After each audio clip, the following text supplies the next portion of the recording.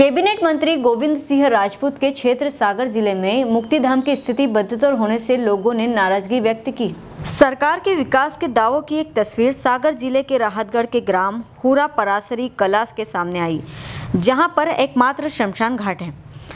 वह भी क्षतिग्रस्त हालत में बना हुआ है। ना तो दाह संस्कार करने के लिए टीन शेड है और ना ही मुक्तिधाम जाने का रास्ता है। दाह संस्कार के लिए शमशान घाट तक ले जाने में लोगों को करीब तीन फीट पानी से भरे नाले से गुजरना पड़ता है, जहाँ लोगों को डर लगता है कि कहीं पेड़ ना फिसल जाए। अंतिम संस्कार के लिए शमशान घाट ले जाने के लिए दल दल वाले रास्ते में से निकलना पड़ता है। राहतगढ़ से सलमान कुरैशी की रिपोर्ट।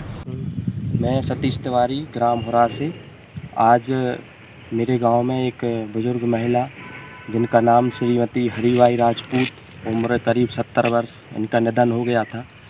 चूँकि आप इस वीडियो में देख सकते हैं हमारे गाँव की हालत पूरे में घुटना घुटना पानी है। यहाँ इतने में हम लोग उनको लेके आए, बड़ी मुश्किल से उनका अंतिम संस्कार किया गया है।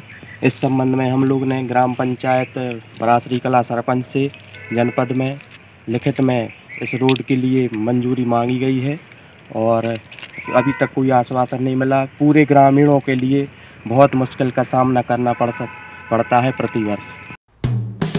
हेलो फ्रेंड्स आप देख रहे हैं हमारा channel S W twenty four news हमारे सारे वीडियो सबसे पहले देखने के लिए आप हमारे चैनल को सब्सक्राइब करें और पास में लगे बेल आइकन को दबाना बिल्कुल भी ना भूलें।